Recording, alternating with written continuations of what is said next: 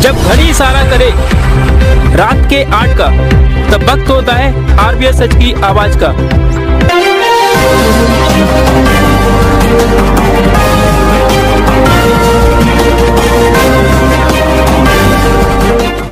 नमस्कार, मैं हूँ संजय भारद्वाज और आप देख रहे हैं आरबीएस सच की आवाज़।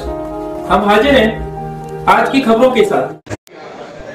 मतदान की तारीख नज़दीक आने से पहले प्रत्याशियों द्वारा एक दूसरे को सह और मात के खेल में हराने का प्रयास जारी है। आज ग्वालियर पूर्व विधानसभा क्षेत्र से निर्दलीय प्रत्याशी डॉक्टर सीपी गुप्ता ने अपना नामांकन पत्र डॉक्टर सतीश अग्रवाल के समर्थन में वापस ले लिया। एक निजी होटल में पत्रकार वार्ता करते हुए डॉक्टर गुप्ता ने बताया कि मैं सतीश अग्रवाल के कार्य, व्यवहार और जनसेवा की शैली से प्रभावित होकर उनके समर्थन में अपना नामांकन वापस ले रहा हूँ। इस अवसर पर भाजपा जिला अध्यक्ष देवेश शर्मा, विधानसभा प्रभारी राकेश यादव, स्वयं पूर्व के प्रत्याशी सतीश अग्रवाल अपने भाई नीटू अग्रवाल के साथ मौजूद थे।